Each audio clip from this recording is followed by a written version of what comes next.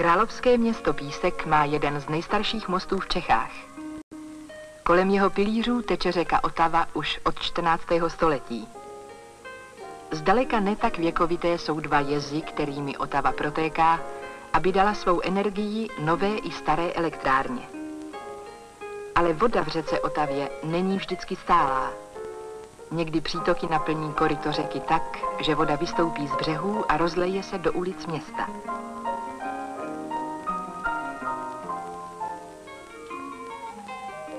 Jedna z největších povodní byla v roce 1954. Zaplavila pobřežní ulice a způsobila velké škody. Aby se tyto záplavy odstranily, má se řečiště v Písku i pod městem upravit, ovšem s ohledem na historický most a jeho okolí. Je to situace dosti komplikovaná, protože pilíře mostu zmenšují průtoční profil řeky, vzdouvají hladinu nad mostem a tím ještě zhoršují stav při povodních. Kromě toho je poblíž mostu velmi úzké řečiště.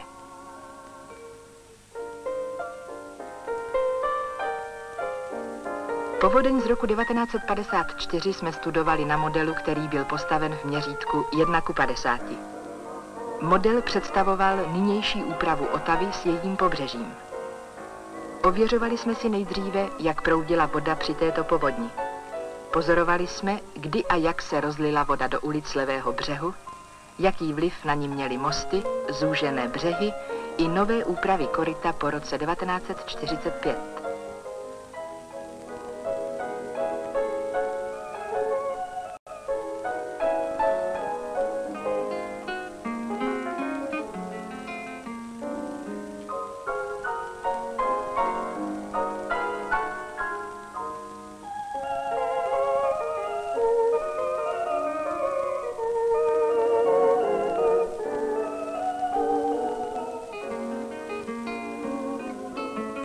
Kromě průběhu hladin jsme studovali i směr a rychlost proudění a vyznačovali jsme mrtvá místa, abychom věděli, jak upravit koryto řeky Otavy a zlepšit odtokové poměry.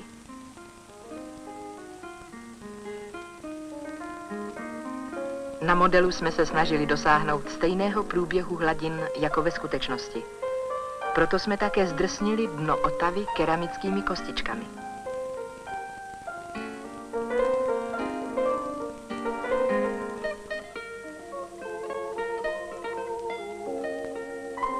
Na základě modelové studie jsme zjistili, že je zapotřebí podstatně rozšířit koryto řeky a zvýšit její břehy.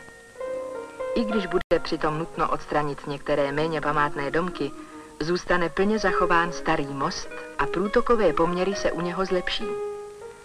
Tato úprava je v souladu se směrným plánem města Písku a vylučuje opakování záplav, k jakým došlo v roce 1954.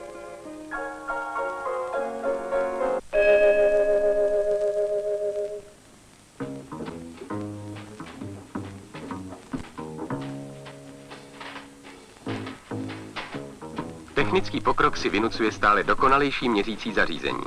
Měřící technika proto využívá nejnovějších poznatků z elektroniky, fyziky i jiných věd. Pro náročná měření ve vodohospodářském výzkumu používáme moderních přístrojů tovární výroby. V mnohých případech však vyvíjíme přístroje vlastní. Jednou z moderních měřících metod je cejchování hydrometrických vrtulí elektronicky řízeným cejchovacím zařízením. Při této metodě je voda v klidu a elektrický vozík vleče vrtuly přesně určenou rychlostí. Z několika jíst různou rychlostí a z počtu otáček vrtule stanovíme závislost, kterou potřebujeme pro praktická měření v přírodě.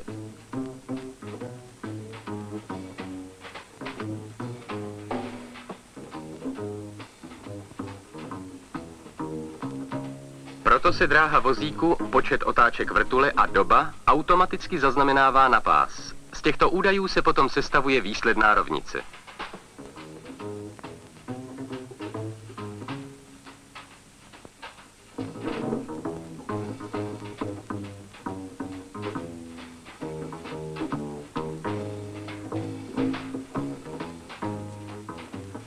Hydrometrických vrtulí se používá také pro měření rychlosti proudu na modelech vodních staveb. Pro tento účel jsou však rozměry běžných vrtulí neúměrně veliké. Proto jsme skonstruovali miniaturní hydrometrickou vrtuli s elektronickým počítačem obrátek. Její průměr je pouze 12 mm, takže je možno ve většině případů pokládat měření za bodové. Přístroj umožňuje oscilografickou registraci okamžité rychlosti.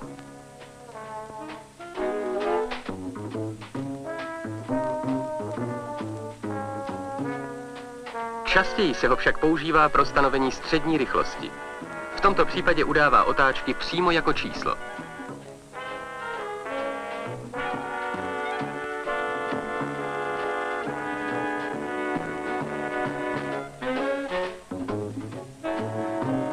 Vyměníme-li vrtuli za indukční snímač tlaku, můžeme téhož přístroje použít pro měření časového průběhu rychle se měnícího hydrodynamického tlaku. Podle záznamu přístroje získáme názor o tom, jak jsou jednotlivé součásti hydraulických staveb namáhány a kde může vzniknout kavitace.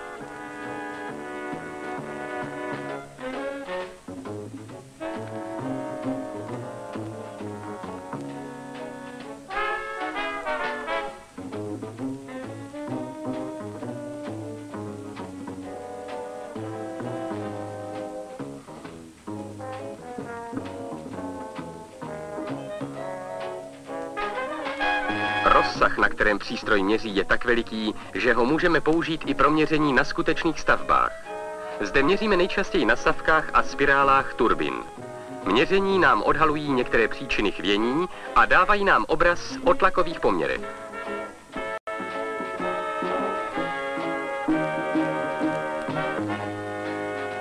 Tyto metody umožňují další prohlubování laboratorního i terénního výzkumu.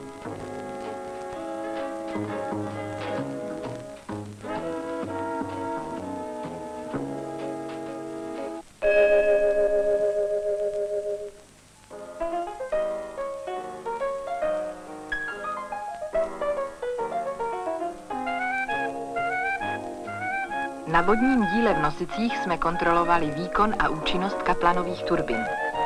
Měřili jsme průtoky, spády a vyrobenou elektrickou energii.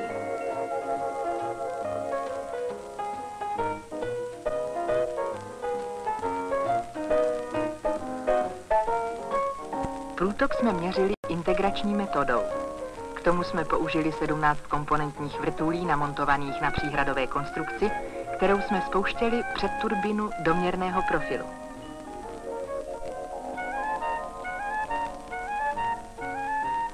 Tak dlouho, dokud vozík nedosedl na dno v toku. Vozík klesal rychlostí 2 cm za vteřinu.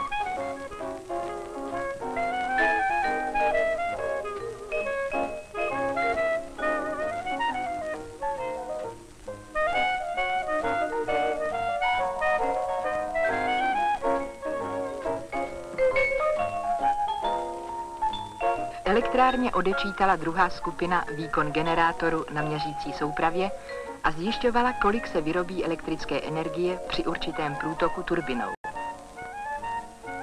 Pro stálou kontrolu průtoků jsme připojili na turbinovou spirálu diferenciální manometr, který jsme současně ocejchovali.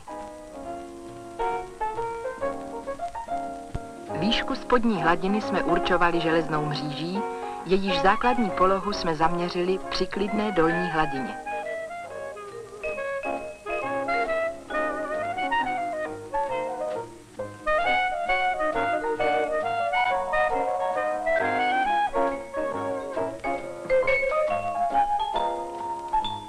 Pro kontrolu a zpřesnění výsledků jsme projížděli měrný profil i nahoru.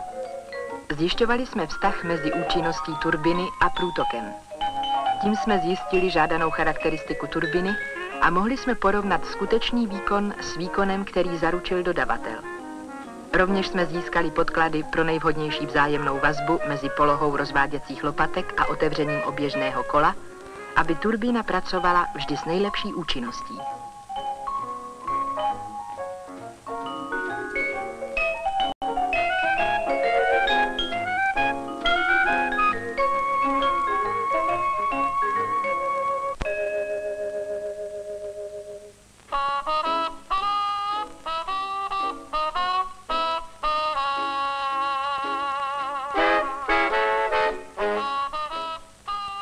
Vodního díla Kamík bylo potřeba vyzkoušet funkci plavební komory při plnění a prázdnění. Do komory vtékala voda otvory v čelní stěně u dna. Přebytečná kinetická energie se tlumila betonovými bloky na dně komory. Voda narážela při plnění na loď a namáhala úvazná lana.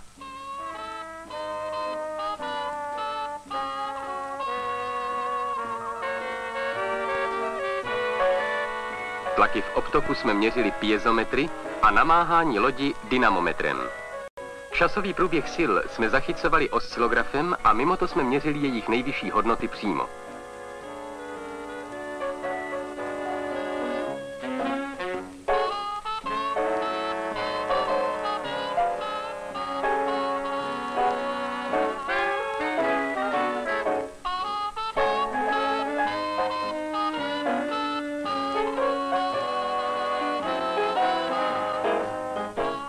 Úpravami vtokových objektů a betonových rozražečů se nám podařilo vyrovnat a snížit maximální síly, které namáhaly člun při plnění komory.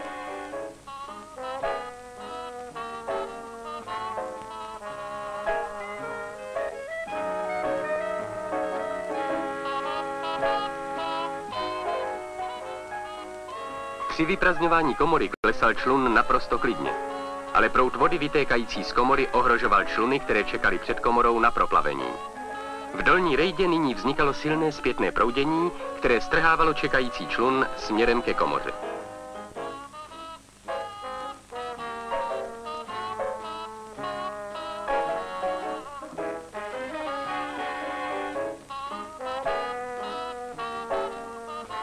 Proto jsme výtok upravili tak, aby se část vytékajícího proudu obrátila vzhůru k hladině. Tato úprava se osvědčila. Konečném návrhu jsme použili ještě větších rozražečů, které jsme umístili ve dně vývaru.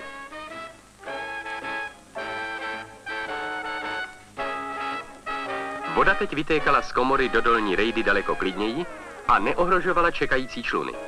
Namáhání člunu při konečné úpravě se snížilo téměř na polovinu původní hodnoty. Výsledky modelového výzkumu umožňují zrychlit proplavování a tak zvýšit přepravní kapacitu plavební komory.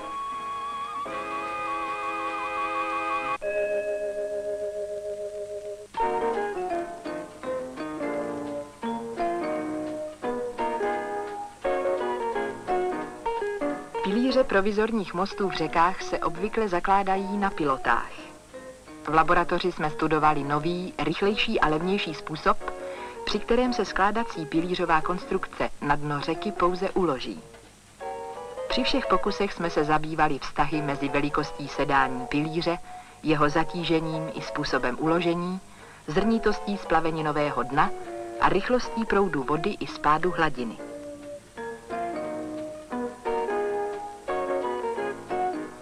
Sledovali jsme čtyři způsoby, jak uložit pilíř na dno řeky. Nejdříve jsme pilíř položili na pískové dno. Tento způsob měl však velké nevýhody. Prout vody vytvořil písečné lavice a odplavoval písek ze dna řeky tak, že pilíře měly nepřípustně velké sedání.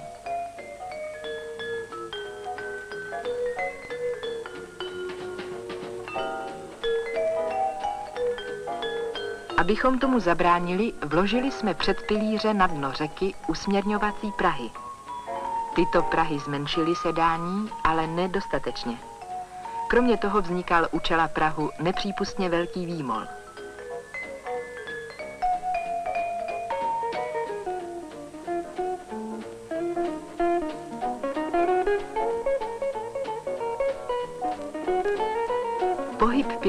Jsme ve všech případech zaznamenávali pětiperovým zapisovačem.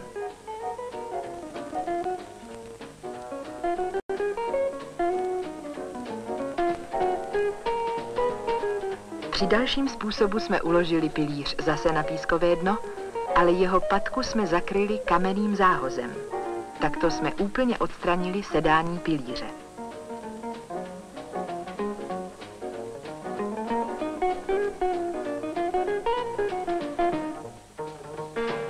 Nakonec jsme uložili pilíř na kamenný zához urovnaný do roviny dna. Tento způsob dal stejně dobré výsledky jako předcházející. Který z obou způsobů se bude používat, rozhodne praxe.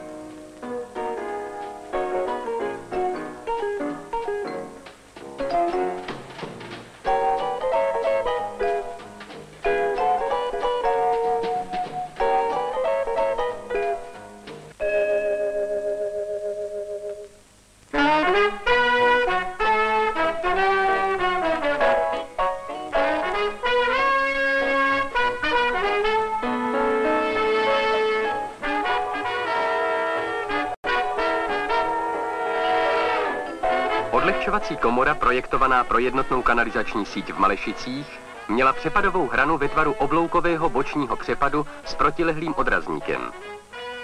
Na modelu jsme zjišťovali funkci této komory při různě velkých dešťových přívalech. Do čistící stanice nemá totiž v daném případě přijít více, než odpovídá osminásobnému zředění suchých splašků.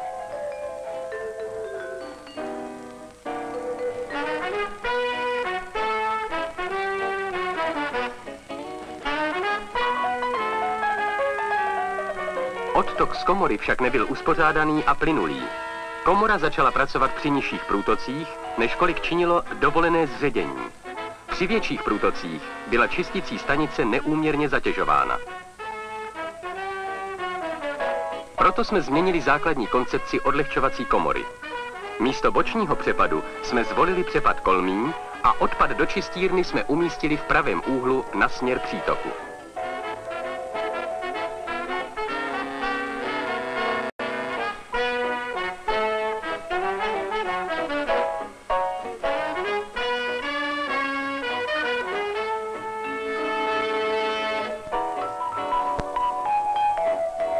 Této úpravě jsme vzhledem k odlišné hydraulické funkci dosáhli toho, že do čistírny přitékalo jen maximálně dovolené zředění suchých splašků. Vyšší průtoky pak odváděl kolmý přepad bez obtíží do potoka.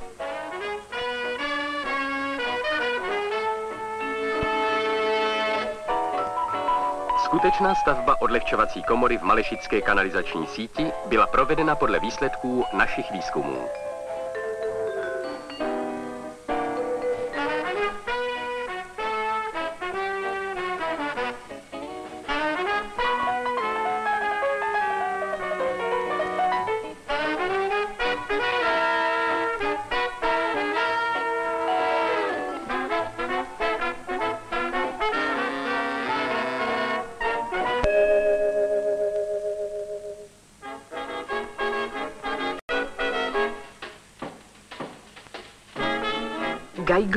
Vírový lapák písku se dosud u nás při stavbě kanalizačních čistíren nepoužil.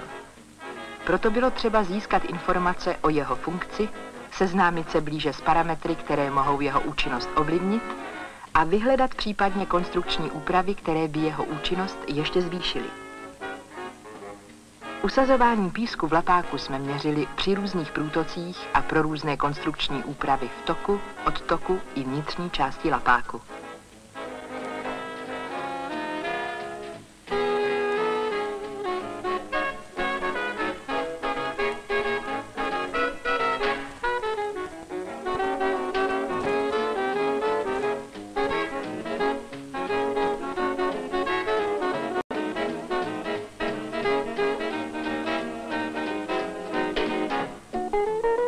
Přítoku jsme dávkovali písek, který znázorňoval pevné minerální částice odplavované s odpadní vodou do kanalizační čistírny.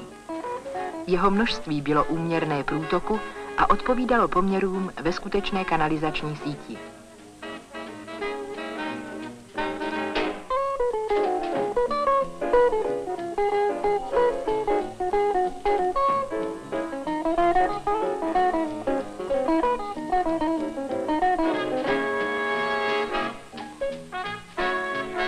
Skončeném pokusu jsme měřili celkově zachycené množství písku, které jsme vybírali z jímky uprostřed lapáku. Porovnávali jsme je s množstvím, které jsme dávkovali do přítoku.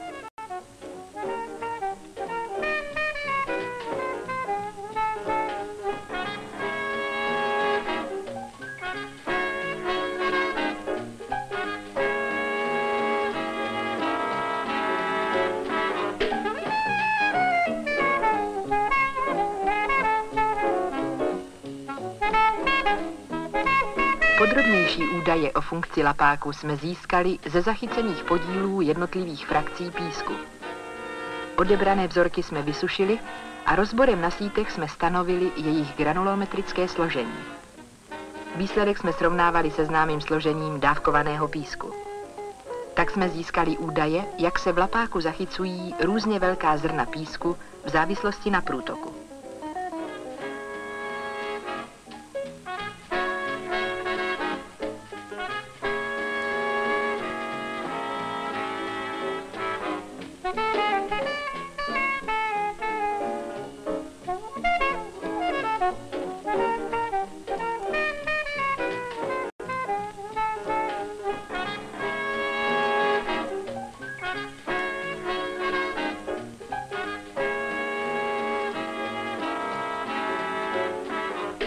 Pokusy se zachycováním písku jsme doplňovali pokusy s pilinami. Piliny znázorňovaly částice specificky lehčího organického kalu, které mají projít do dalších částí čistírny. Ukázalo se, že lapák zachycuje v potřebné míře pevné minerální částice a zároveň propouští dále do čistírny organické látky. Proto jsme tento lapák doporučili projektantům kanalizačních čistíren k typizaci.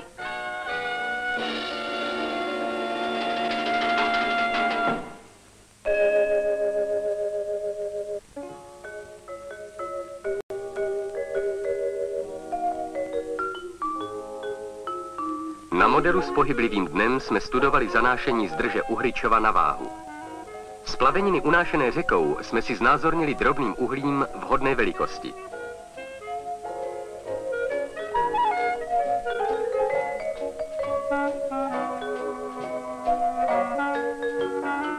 Model jsme vybavili tak, aby splaveniny mohly obíhat v uzavřeném okruhu. Z konce modelu tekla voda s uhlím do přepadové nádrže. V nádrži se voda od uhlí oddělila a splaveniny se vracely do nádrže na začátek modelu. Odtud vtékaly na model zpátky.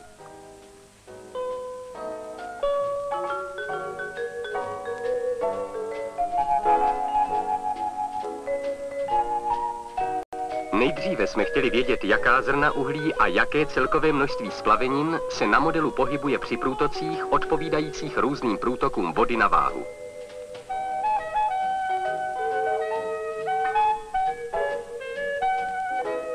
Proto jsme na konci modelu zachycovali splavené uhlí za určitou dobu. Zachycený materiál jsme zvážili a tím jsme si stanovili průtok splavenin.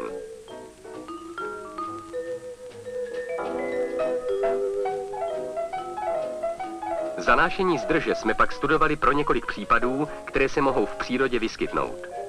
Chtěli jsme zjistit, jakým způsobem a jak rychle se zdrž zanáší. Proto jsme zkoumali postup splavenin za dobu, která odpovídá ve skutečnosti jednomu, dvěma, pěti a deseti letům.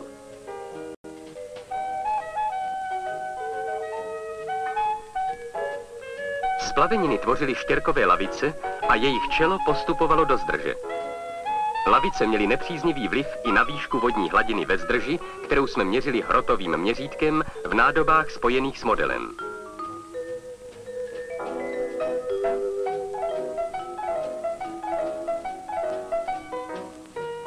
Každém pokusu jsme vynesli vrstevnice a zjistili jsme postup zanášení.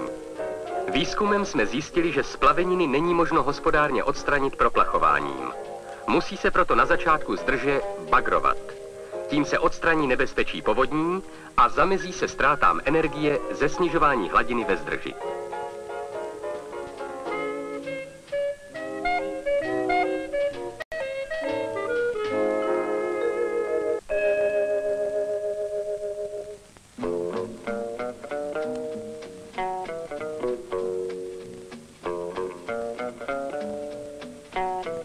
Násoskový přepad je zařízení, které odvádí přebytečnou vodu z nádrže do odpadního koryta. Funkci a účinnost násosky si obyčejně ověřujeme ještě před stavbou. Na modelu, kde sledujeme hlavně okamžik zapnutí a přerušení průtoku, protože tyto její vlastnosti nemůžeme spolehlivě předem vypočítat. Násosky mohou mít velmi rozmanitý tvar podle požadavků, které na ně klademe. V laboratoři jsme například zkoušeli násosku pro kanalizační čistírnu. Tato násoska nevypínala včas a voda odtékala nepřetržitě. Teprve když jsme přivedli do vrcholu násosky dostatečné množství vzduchu, násoska přerušila svou činnost.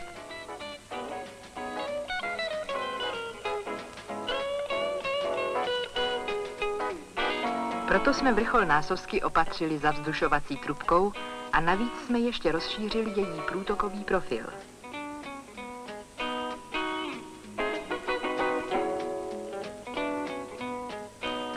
Mnohem složitější tvar měla násoska pro přivaděč průmyslové vody ohřebílina. Měla totiž převádět mnohem větší průtoky a přitom měla být citlivá i na malé změny hladiny.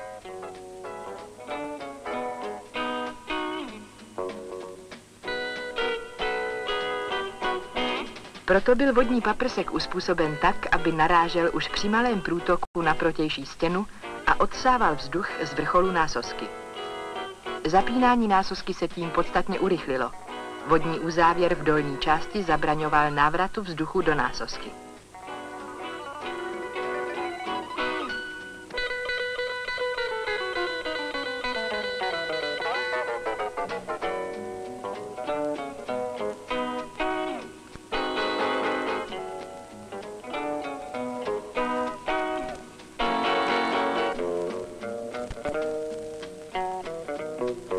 Vodních dílech obvykle združujeme násosky do skupin, aby pracovali plynuleji. Na průmyslovém přivaděči ohře Bílina jsou umístěny dvě násosky stejného typu vedle sebe. Zapínají se postupně. V laboratoři jsme ověřovali na celkovém modelu nejen jejich funkci, ale i vliv proudění v přivaděči na jejich činnost. Vhodným tvarem dodatečně vložených usměrňovacích stěn jsme dosáhli toho, že se násosky zapínaly a vypínaly podle předpokladu.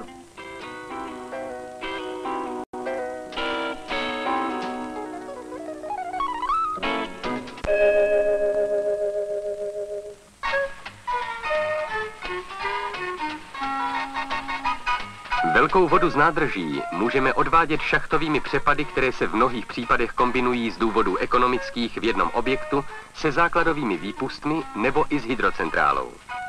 Na takovémto případě úvodního díla Hracholusky jsme studovali proudění vody v objektu šachtového přepadu, odpadního tunelu a vývaru.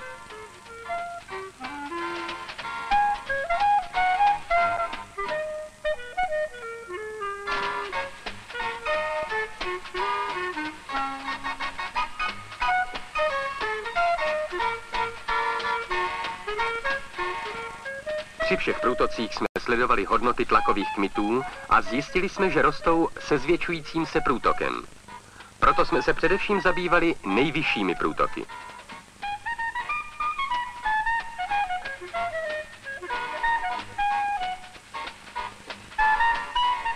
Při katastrofálním průtoku vzniká na hladině nad šachtou vtokový vír, který strhuje do šachty vzduch a způsobuje velké hodnoty tlakových kmitů.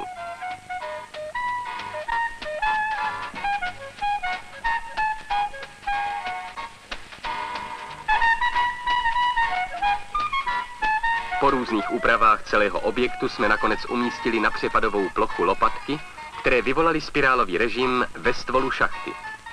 Rozkmit tlaku se nyní snížil při maximálních průtocích až o 40%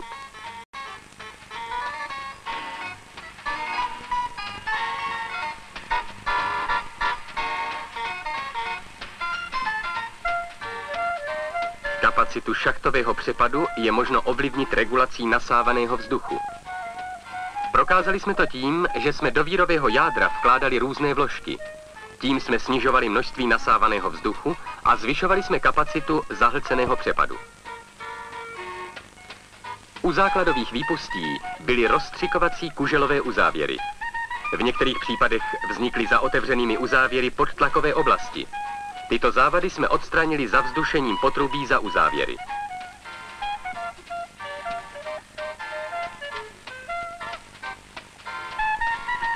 Odpadním tunelu byla voda silně provzdušena.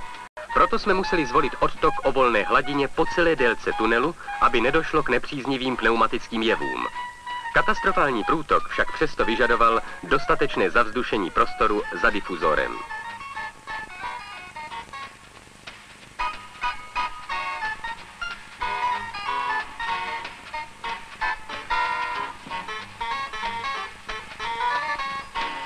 Soustředěný výtok z tunelu se nerovnoměrně rozdělil po šířce vývaru a vznikal tak labilní válec o svislé ose.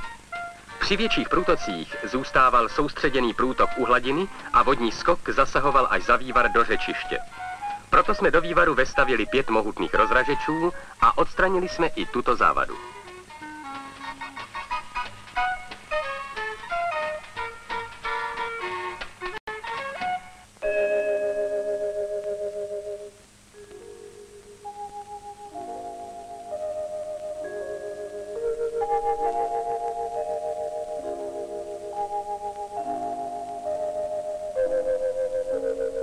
Starém želnavském skluzu, který slouží k dopravě dříví ze šumavských lesů, jsme studovali hydraulické poměry pro koryta o velkém spádu, to je s nadkritickou rychlostí průtoků.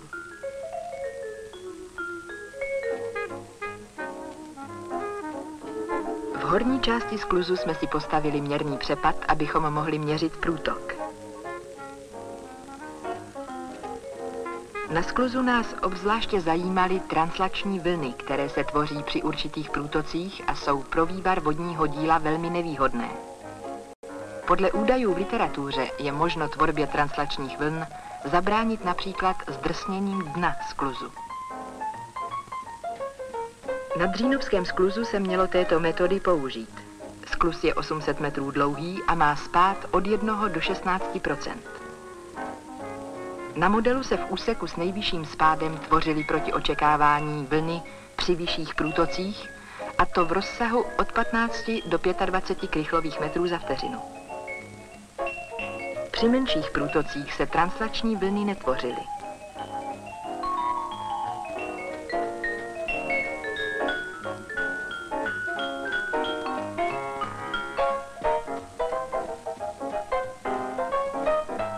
Zdrsněné dno tedy v daném případě průchové poměry naopak zhoršovalo. Proto jsme příčné Prahy, které měly být ve skutečnosti 20 cm vysoké, ze dna skluzu odstranili a tím i stavbu zlevnili. Koryto skluzu jsme upravili tak, aby se dno snižovalo z obou stran k jeho ose. Po této úpravě jsme znovu vyšetřovali proudění na skluzu. Translační vlny se sice opět tvořily, ale maximálně do průtoku pěti krychlových metrů za vteřinu, což není pro vývar nebezpečné.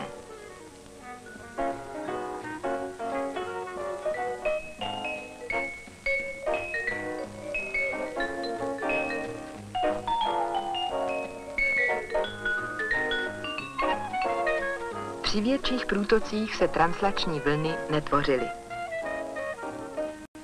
Výsledky výzkumu na modelu, tedy v daném případě údaje uváděné v literatuře, nepotvrdili. Bude je však nutné ještě ověřit měřením na skluzu ve skutečnosti.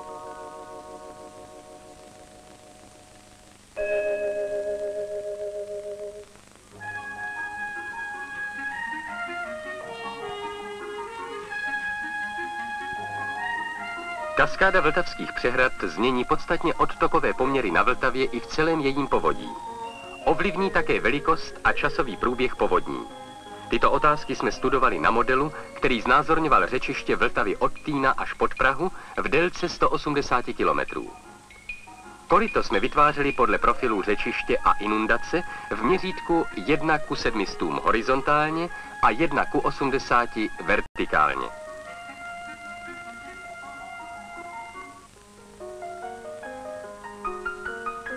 Do modelu byly zaústěny přítoky pěti hlavních řek.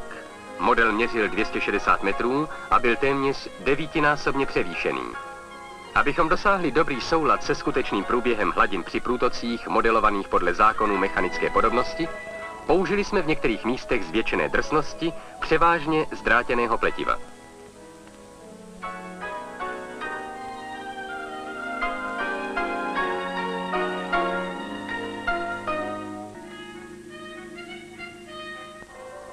Model jsme plně zautomatizovali.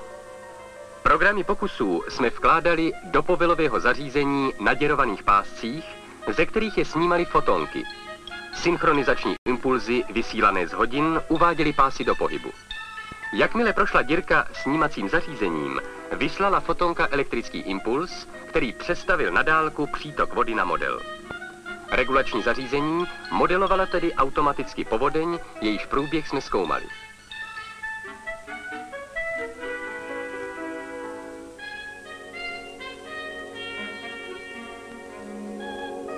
Rychlosti proudění a jeho strukturu v různých úsecích kaskády jsme měřili miniaturní vrtulkou s elektronickým počítačem otáček.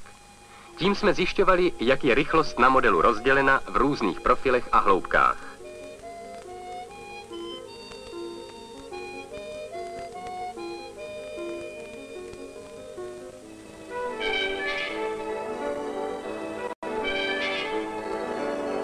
Polohu hladiny jsme měřili ve 42 profilech.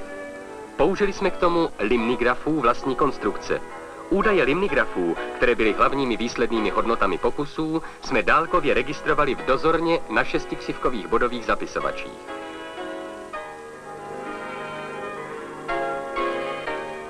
Těmito studiemi jsme objasnili průběh budoucích povodní při určité manipulaci na přehradách a přispěli jsme k zlepšení manipulačního řádu v naší hlavní kaskádě na Vltavě.